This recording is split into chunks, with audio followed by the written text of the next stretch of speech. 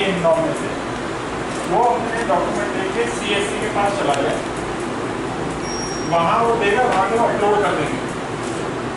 Upload हो जाएगा, जैसे मान लीजिए हाँ। ये हमारा ऑफिशियल पोर्टल है, जो हमारे एडमिनिस्ट्रेशन का। इस तरह का फॉर्मेट रहेगा सीएससी के पास